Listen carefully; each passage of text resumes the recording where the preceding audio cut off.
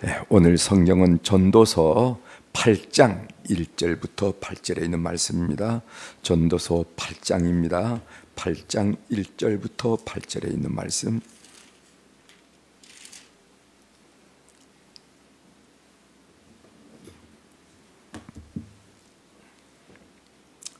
전도서 8장 1절부터 이제 봉독해 드리겠습니다.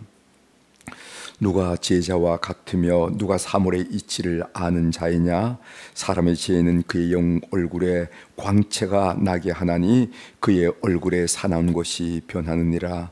내가 고난하노라 왕의 명령을 지키라. 이미 하나님을 가리켜 맹세하였음이니라. 왕 앞에서 물러가기를 급하게 하지 말며 악 한 것을 일삼지 말라. 왕은 자기가 하고자 하는 것을 다 행함이니라.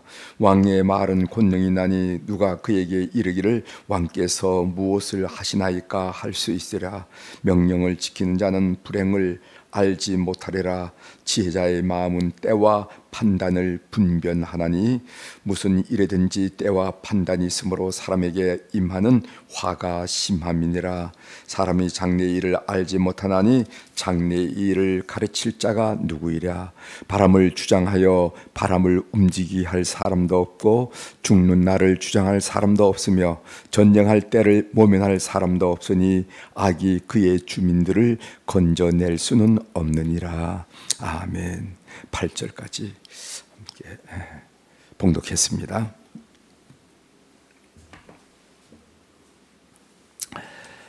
오늘 우리가 읽은 음, 전도서 8장 1절부터 8절에 있는 말씀 어, 짧은 말씀이지만 이 말씀을 중심으로 누가 지혜자일까 아, 누가 지혜자일까 하는 주제로 말씀을 나누도록 하겠습니다.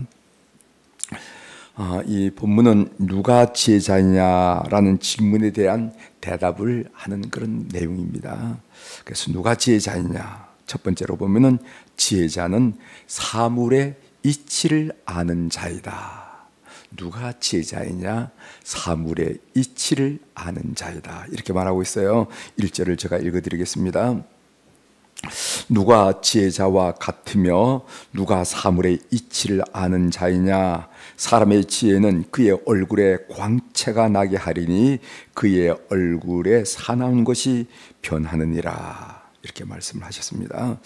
여기에 사물의 이치를 아는 자라는 말이 있는데 이 사물이라 하는 말이 히브리어로 다바르 어, 다바르란 말이 말씀이라 하는 말씀이죠. 어, 보통 말이 아니라 에너지가 가득 한 말씀, 에너지가 가득 찬 말씀, 그 말씀이 임하면은 역사가 일어나는 말씀, 변화가 일어나는 말씀, 이것을 보고 다바르라 한다는 거죠. 이 이치란 말은 이치란 해석을 뜻합니다. 구체적으로 꿈이나 환상을 풀어 설명하는 것. 이것을 보고 이치라 하는데 여러분 성경에서 꿈을 잘 해몽한 사람들이 여러분이 나오죠. 요셉, 어, 요셉은 꿈을 잘 해석하는 사람이에요. 그러니까 이치를 아는 사람이 이치를.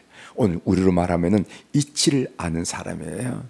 요셉이 술 맡은 관원장 그리고 또 떡 맡은 관원장이 꿈을 꿨는데 당시들의 운명은 앞으로 어떻게 될 것이다. 어? 하는 얘기 꿈을 해몽을 잘 했잖아요. 꿈의 이치를 잘 밝혔잖아요. 여러분 다니엘 같은 예언자들을 말입니다. 어? 느부갓네살 왕이 우상을 하나 봤는데 사람들이 이게 의미가 무엇인지 몰라요. 그럴 때 다니엘이 그 꿈 이야기를 잘 풀어주잖아요. 어, 이치를 아는 자. 그러므로 사물에 나타난 하나님 뜻을 아는 자가 지혜자이다. 어, 사물, 사건 속에 나타난 하나님의 뜻을 잘 밝힐 줄 아는 자. 이런 사람이 지혜자다 하는 얘기예요. 사실 삶의 문제를 해석하지 못하면요 삶의 문제는 해결되지 않습니다.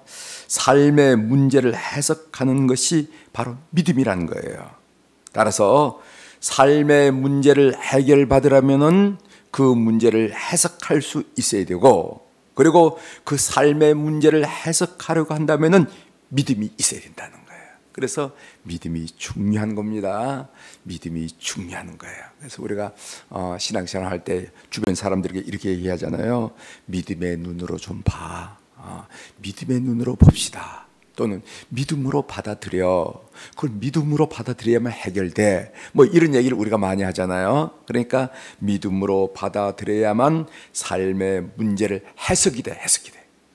해석이 돼야만 평안이 오는 겁니다. 해석이 돼야만 그 문제를 극복할 수가 있고 이길 수가 있는 거예요. 아, 이것을 여러분 삶에 다 한번 적용해 보시길 바랍니다.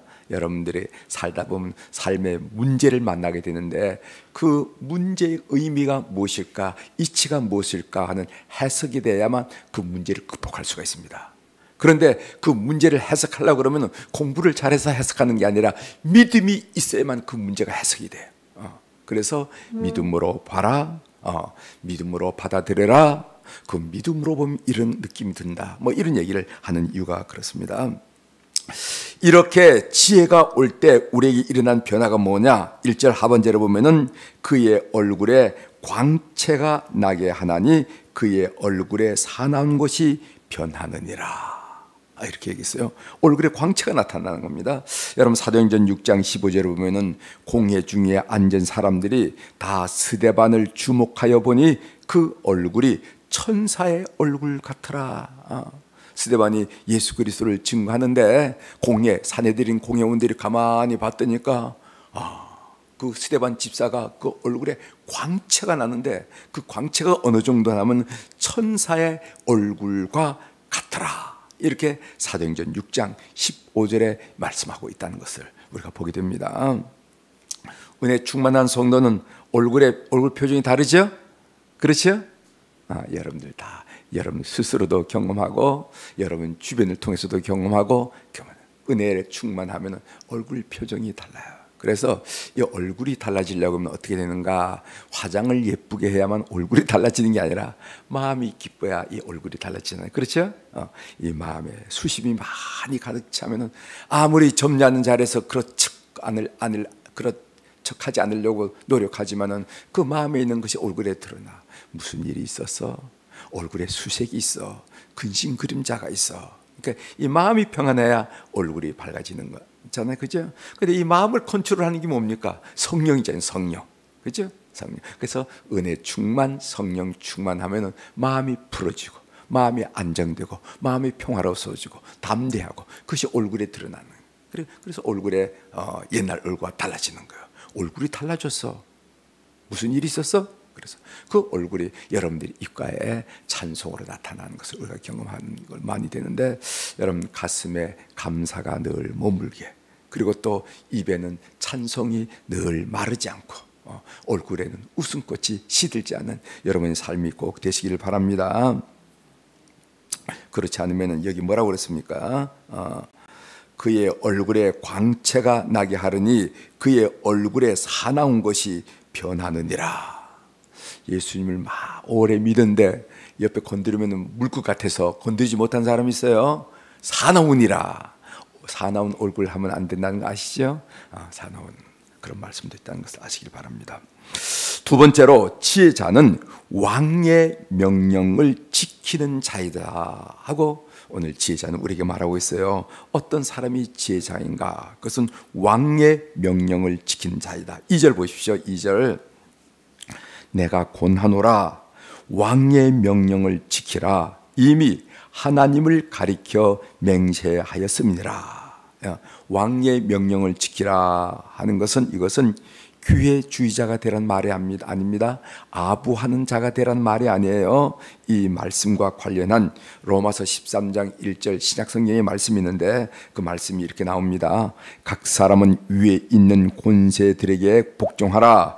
권세는 하나님부터 나지 않음이 없나니 모든 권세는 다 하나님께서 정하신 바라. 여기 보면은 위에 있는 권세에 복종하라 하고 바울 사도가 가르쳤습니다.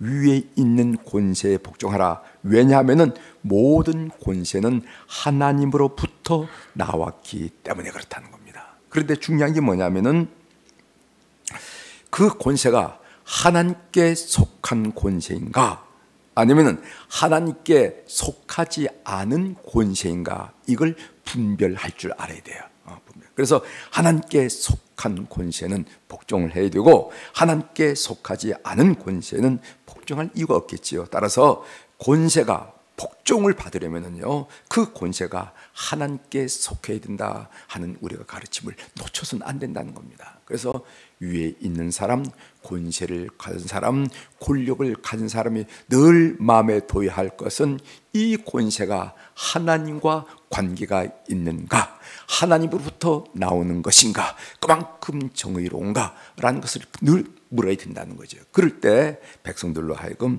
아랫 사람으로부터 존경을 받고 복종을 받고 순종을 받을 수 있다 하는 이야기입니다. 그 3절에 이런 말씀이세요.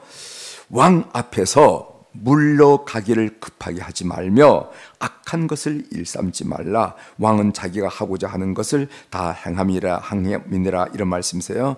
여기에 악한 것을 일삼지 말라. 아, 그건 이해가 되는데 왕 앞에서 물러가기를 급하게 하지 말며 이 말이 무슨 말인가 하면은요 이 말씀은 왕에게 감정적으로 반응하지 말라 하는 말이에요. 즉 자기의 뜻이 관철되지 않았다고 함부로 말하거나 함부로 행동하지 말라는 것입니다. 감정에 못 이겨서 성급하게 행동하는 것은 아주 어리석은 일이라는 거죠. 그것이 그것은 지혜자의 처신이 아니라는 겁니다. 왜냐하면 그렇게 되면 다친다는 거예요. 우리말로 왜냐하면 왕에게는 힘이 있기 때문에 반드시 다치게 돼 있다 하는 이야기를 성경이 하고 있다는 것입니다. 오히려 적절한 때를 기다릴 줄 알아야 된다 하는 말씀이세요. 5절이죠. 명령을 지키는 자는 불행을 알지 못하리라. 지혜자의 마음은 때와 판단을 분별하나니 이 때란 것은 적절한 때 알맞은 타이밍을 말하는 거죠. 때에 맞는 처신을 할 줄 아는 것이 바로 지혜자다. 이렇게 이야기하고 있습니다. 세 번째로 오늘 본문에서 지혜자는 어떤 자인가? 그것은 인간의 한계를 인정할 줄 아는 사람, 이런 사람이 지혜자라는 겁니다. 나의 능력, 나의 지혜, 이것이 한계가 있다 하는 것을 인정할 줄 아는 사람이 지혜자다. 7절 보겠습니다. 사람이 장래 일을 알지 못하나니 장래 일을 가르칠 자가 누구랴? 아, 사람 장래 일을 모른다는 겁니다. 그런데 사람 참 미래를 알고 싶어요. 내 장래를 우리가 2022년도 끝나고 2023년도 이제 맞이하게 되는데 2003 많은 사람들이 아 2023년도는 어떻게 될 건가? 우리나라는 어떻게 될 것인가? 내 삶은 어떻게 될 것인가? 내 삶은 어떻게 될 관심이 많아요. 그래서 새해가 되면은 점을 치기도 하고 어, 사주 팔 팔자를 보기도 하고 아니면 토정 비결을 찾아서 보기도 하고 뭐 이런 것을 보게 됩니다. 그러나 미래는 미래의 문은 우리에게 닫혀 있다는 겁니다. 미래가. 그래서 사람이 장래 일을 알지 못한다. 그래서 괜히 모르는 일을 닫혀진 일을 알려고 하지 마십니다. 8절 보겠습니다. 바람을 주장하여 바람을 움직이게 할 사람도 없고 죽는 날을 주장할 사람도 없으며 전쟁할 때를 모면할 사람도 없으니 악이 그의 주민들을 건져낼 수가 없는 수는 없느니라 이런 말씀이세요. 이게 바람이라 하는 말은 자연 현상을 말하고 여기 죽는 날이라 하는 것은 한 개인의 삶과 죽음을 말하고 전쟁할 때라는 것은 역사의 문제, 민족의 문제 이렇게 말할 수가 있는 거지요. 음. 우리가 뭐 자연 현상을 어떻게 우리가 할 수 있겠습니까? 한 사람의 삶과 죽음도 우리가 어떻게 하겠습니까? 어, 지금 러시아와 우크라이나 전쟁이 있지만 이 역사 전쟁 이 문제도 우리가 지금 어떻게 할 수 없는 거죠. 이런 문제를 앞에 놓고 인간의 한계 상황을 느낀다는 것입니다. 인간의 한계 상황을 철저히 느끼는 사람일수록 그의 시선은 하나님께로 향하게 돼 있는 거예요. 어. 모르는 사람이 뭐 내 주먹 믿으라. 사람의 지혜, 지식 이렇게 해야지 어, 깊은 사고 속에서 내 자신의 한계를 느낀 사람은 항상 그 시선이 하나님께로 가게 돼 있다는 겁니다. 그런 태도가 진정으로 지혜 있는 태도라는 거예요. 나의 부족함, 능력, 지식, 지혜 이 한계를 다 인정하고 인생은 그렇게 사는 게 아니야 하고 하나님을 향해서 시선 돌릴 줄 아는 사람 그런 사람이 지혜로운 사람이라 한 얘기입니다. 어제 아신대학교 중동연구원 모임이 우리 교회에서 있었어요. 그 교수들이 예, 오셔서 함께 모임을 갖고 있는데 이정순 박사라는 분이 예, 짧은 어, 간증을 이렇게 어, 했습니다. 어, 우리가 이제 속회로 모이면 제가 따뜻한 이야기, 차가운 이야기 나누라고 그러잖아요. 어, 우리 이 모임도 모이면 우선 어, 지난 모임 이후로 어, 차가웠던 일들, 따뜻한 일들을 잠시 잠깐 이렇게 나눈 시간이 있습니다. 아, 나는 여러분들도 속회 소그룹 할 때 꼭 그렇게 하십시오. 어, 지난 한 주간 동안 아니면 지난 한 달 동안 나에게 차가운 일은 무엇이었을까? 따뜻한 일들은 무엇일까? 이렇게 나누다 보면요. 아, 이 사람들이 좀 배운 사람인데도 불구하고 눈물을 흘리면서 이렇게 고백하면서 하나님을 찬양하는 그런 시간이 있어요. 이분이 이 OM 선교사, OM 선교에 소속된 분이었습니다. OM 선교 들어보셨죠? 뭐 인터 서브니 OM 선교. 예.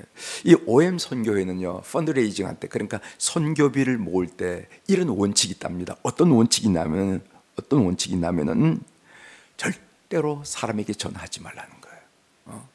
안 사람한테도 아 내가 요번 선교사로 나갔는데 또는 아 이런 프로젝트를 하려고 그러는데 돈이 없어 기도해 달라 이런 얘기를 하지 말라고 그러는 거예요. 거기는 철저하게 어떻게 하냐면 하나님께만 기도하라.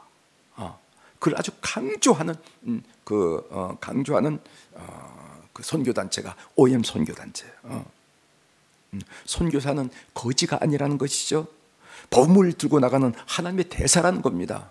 어, 하나님의 대사가 뭐 사람들 앞에 무슨 구걸하고 이런 식으로 하지 말라는 거예요. 어.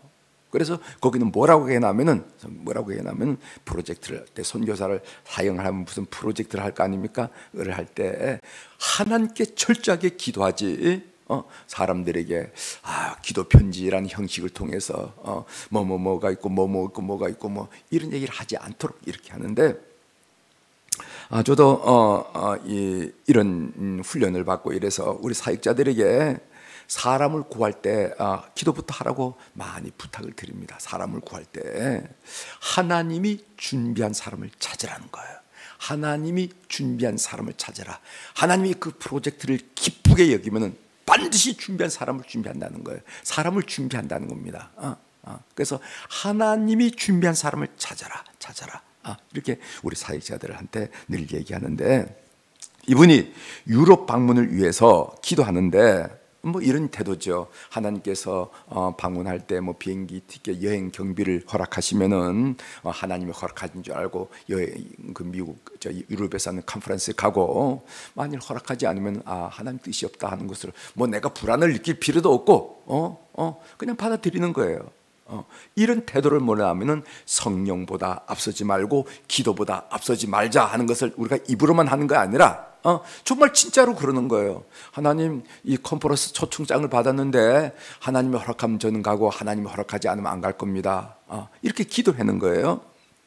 그런데 어, 대전에 있는 한남대학교를 후원했던 미국 분으로부터 천불이 왔다는 겁니다. 아, 천불이 왔다는 거예요. 그래서 그 돈으로 티켓팅을 하고 어, 유럽을 잘 다녀왔다 한 얘기인데 이게 옛날 얘기입니다. 언젠가 미국을 방문하던 차에 이 후원자의 집을 방문하는 그런 계기가 있었다는 거예요. 이 후원자가 한남대학교를 위해서 상당한 많은 돈을 후원, 후원을 했고 또 어, 어, 자기가 그런 일이 있을 때 그렇게 어, 하나님께서 어, 당신을 기억나게 하는데 아마 당신이 뭔가 필요할 것 같아서 내가 천불을 보내노라 이렇게 간단한 메시지와 함께 돈을 줬으니까 아, 참, 아, 그 사람은 참 부자, 부자라다, 부자일 거다라고 생각하고 이분이 그 집을 방문했는데 이분이 원체 큰 후원을 했기 때문에 예, 그리고 또 부자라고 알려졌기 때문에 무척 화롭게 사는 줄 알았다는 겁니다. 아, 이분이 한남대학교를 해서 그렇게 헌신하고 또 우리 선교사들을 위해서 그렇게 했기 때문에 굉장히 잘 사는구나, 잘 살겠구나, 호락게 살겠구나 하고 갔다는 겁니다. 그런데 집에 딱 들어가서 집에 가보니까 60년 된 침대, 침대를 사용하고 있다는 거예요. 침대를. 어, 침대를. 60년 된. 그리고 언제 만들어 만들었지도 모를 선풍기가 돌아가고 있다는 거예요. 어? 선풍기. 에어컨이 아니라 선풍기가 돌아가는데 이건 우리나라에서도 볼 수 없는 오래전에 그 냉장고 문에 가봤다니까 냉장고 문에요 선교사들로부터 온 선교 편지가 가득 붙여 있고 선교사를 위해서 선교사 그온 편지들이 이렇게 줄로 이렇게 붙어 거예요. 그래서 이 선교사가 그 집에 가서 엄청나게 도전을 받고 그리고 큰 감동을 받았다 그런 얘기를 어제 간증을 했습니다. 그래서 심플 라이프 다 간단한 삶, 단순한 삶. 어? 어. 뭐 이렇게 TV 나오는 대로 이렇게 막 이게 막 바꾸고 어. 이 세상 풍조대로 막 이렇게 하는 게 아니라 어. 하나님이 원하는 삶에 대한 분명한 인식을 가지고 가치관을 가지고 어? 심플 라이프 단순한 삶을 살면서 하나님의 기쁨이 되려고 하는 그 삶을 통해서 많은 감동을 받고 도전을 받았다 한 이야기를 짧은 간증을 하는데 은혜 받았습니다. 사랑하는 교회 여러분, 어떤 삶이 지혜로운 삶인가? 어? 누가 지혜자입니까? 어? 이것을 오늘 이 시대 속에서 다시 한번 생각해보는 간증이고 오늘 본문이라고 저는 생각합니다. 하나님의 절대 주권을 인정해드리고 어, 하나님은 내 삶의 주인이고 하나님이 내 가정의 주인이고 하나님이 내 사업의 주인이고 하나님이 내 자식들의 주인이라는 것을 절대 주권 인정해 드리면서 하나님을 바라보며 하나님을 지향하면서 오늘 또 살아가는 삶이 지혜로운 삶이라 하는 것을 여러분들에게 말씀드리고 오늘 이 말씀이 오늘 하루를 사는데 여러분들께 크게 도전이 되길 바랍니다. 기도하시겠습니다. 하나님 아버지 오늘 또 주님께서 귀한 말씀 주셔서 그 말씀을 묵상하고 또 말씀 묵상 가운데 생각나는 일들을 함께 나누면서 우리가 은혜 받을 수 있도록 도와주시니 감사합니다. 오늘은 어떤 사람이 지혜로운 삶을 살고 있는지, 어떤 사람이 지혜자인지 하는 말씀을 우리가 묵상하면서 은혜를 받았습니다. 하나님이 우리에게 허락한 이 귀한 한날도 참으로 하나님이 기대한 삶을 살아드리고 우리의 시선과 마음이 하나님께 고정됨으로 말미암아 하나님의 큰 기쁨이 되는 삶이 될 수 있도록 은총을 베풀어 주옵소서. 오늘 또 우리 사랑 교우들이 주님 앞에 귀한 물질을 올려드렸습니다. 하나님 늘 주님 앞에 겸손히 고백하며 고백하는 말씀이지만은 우리가 많아서 드리는 것도 아니고 쓸데없어 드리는 것도 아니고 쓰고 남은 그 어떤 어, 잔액을 드리는 것도 아니라 하나님 우리의 눈물, 우리의 땀, 우리의 잠 못 이루는 밤, 우리의 굳은 살, 우리의 분주한 발걸음 뭐 이런 것을 다 상징하는 이 물질을 주님 앞에 드리면서 이 새벽에 눈이 오는 이 새벽에 겸손히 우리 삶을 주님 앞에 맡기는 우리 성도들의 그 이름들 사연들 주께서 통촉하여 주시고 주께서 허락하신 그 순적한 삶의 은혜를 경험하는 우리 교우들이 다 될 수 있도록 은총을 베풀어 주옵소서. 오늘 수요일 날 아, 우리 자녀들을 위해서 우리 손자 손녀들을 위해서 주님께 부탁드리며 기도하게 하시오니 감사를 드립니다. 우리가 나서 어, 키우고 또 그들의 어떤 원함과 그들의 바람과 기대를 우리가 다 알고 있지만은 오늘 시, 지혜자가 고백한 것처럼 우리 인간의 한계를 늘 느끼면서 삶을 살고 있습니다. 그들의 이유, 그들의 원함은 알고 있지만은 부모로서 어, 우리가 줄 수 있는 것이 그렇게 많지 않다는 것을 경험하면서 오늘 또 그들의 이름을 주님 앞에 올려드리오니 시간과 공간을 초월하신 우리 하나님께서 이름 이름마다 얼굴 얼굴마다 주 께서 역사하셔서 하나님의 거룩과 뜻을 드러내는 우리의 자손들이 다 될 수 있도록 은총을 베풀어 주옵소서 해에 아직 코로나가 잦아들지 않은 해에서 학문하는 자녀들, 사업하는 자녀들, 직장 생활을 하는 자녀들이 있습니다. 아, 군대에 나가 국방의 의무를 감당하며 낯설고 물설은 곳에서 참으로 전우라고 지휘관이라고 동료라고 이름 지어져서 군대 생활하는 우리 자녀들도 있습니다. 하나님 이제 대학문을 녹화하면서 수능을 끝나고 그 점수에 맞춰서 실기를 준비하고 인터뷰를 준비하는 우리의 자녀들도 있습니다. 하나님 사업하는 자녀들도 있고요. 아, 결혼을 원하는 자녀들도 있고 출산 임신을 원하는 자녀들도 있고 또 순산을 원하는 자녀들도 있고 우리 자녀들의 가정 그리고 또 그들이 원함 이런 것들을 오늘 우리 입으로 주님 앞에 보고 드리오니 찬찬하고 섬시하신 우리 하나님 종들의 기도를 들으셔서 역사하여 주시옵소서. 그래서 참으로 아브라함이 이삭을 이삭을 이 야곱을 야곱이 요셉을 그리고 그 후손들에게 믿음의 물줄기가 이어지는 것처럼 축복의 물줄기가 이어진 것처럼 우리의 모든 자손들 가운데 믿음의 물줄기가 이어지며 그리고 축복의 물줄기도 이어지는 놀란 일들을 보면서 우리 하나님께 진심으로 찬양을 올려드리는 하나님의 삶이 될 수 있도록 저들 오늘 붙들어 주시옵소서. 오늘 또 하늘의 주권과 땅의 주권을 가진 우리 주님의 이름으로 그 권세 있는 이름으로 이 새벽에 선포합니다. 내 영혼이 잘된 같이 범사가 잘되고 강건한 축복을 주께서 허락한 소중한 시간을 사는 온 교우들이 받아 누리며 경험하며 간증하며 고백하는 삶이 될 수 있도록 은총을 베풀어 주시옵소서. 감사드리며 예수님의 이름으로 기도 올리옵나이다. 아멘.